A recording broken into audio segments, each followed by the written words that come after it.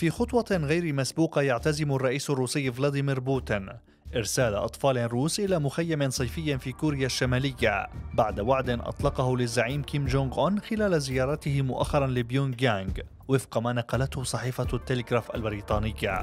غريغوري غوروف رئيس حركة بوتين لمنظمة الشباب الأولى أكد الخطط قائلا سنشكل الآن وفدنا الظروف هناك جيدة.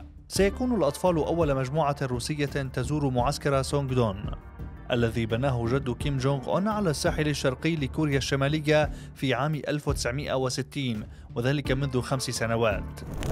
وصف قادة روس شاركوا في رحلات سابقة المخيم بأنه يجمع بين ميزات المنازل العادية وتجارب مشابهة لمنتزه ديزني المائي ولكن مع انقطاعات متكررة في الكهرباء والحرص على ممارسة أنشطة ضمن تجمعات بحسب تقرير التلغراف. الجداول اليومية الصارمة تبدأ بالاستيقاظ المبكر والنشاطات المنظمة في المخيم كتنظيف المنطقة أمام تماثيل والد وجد كيم جونغ أون وتمارين رياضية مفروضة ودروسا مقررة من الدولة وحفلات رقص.